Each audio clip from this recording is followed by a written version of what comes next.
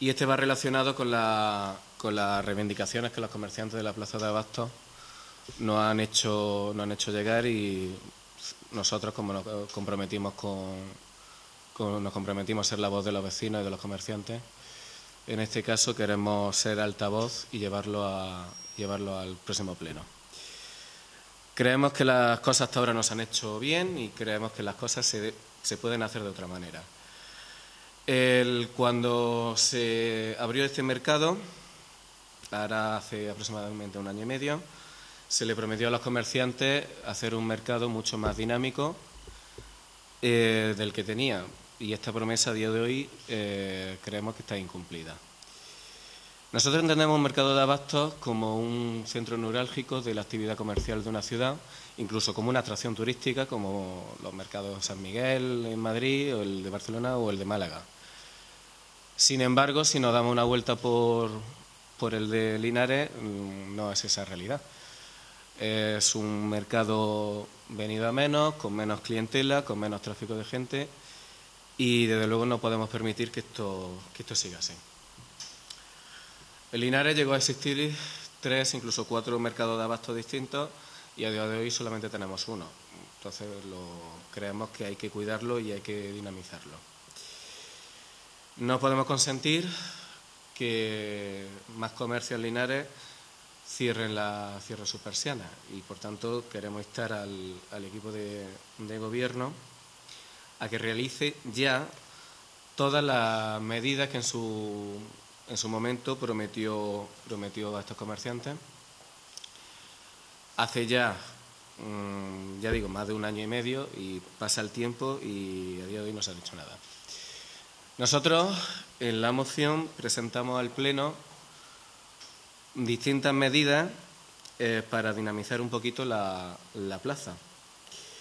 Entre esas medidas serían acometer, acometer obras de, climatización dentro de la plaza de Abasto, que es un problema que nos han hecho llegar. Queremos que se licite, que se acelere la licitación de los puestos que aún quedan vacíos y además que esa licitación de esos puestos sea para diversificar un poco los servicios que presta la plaza. No, no, no, abrir más fruterías si ya existe, no abrir más carnicerías si ya existe, sino abrir otros otros sectores. En ese sentido, si mm, veríamos con buenos ojos abrir, por ejemplo, una cafetería que no existe, que en muchos mercados de abastos sí existen, y además quería otra novedad que sí queríamos impulsar sería el adaptar los horarios a la vida cotidiana de, los ciudadanos. queremos llegar a un acuerdo con los comerciantes para que tengan la libertad de poder abrir en horario de tarde, como en muchos mercados de abasto de muchas ciudades se hace.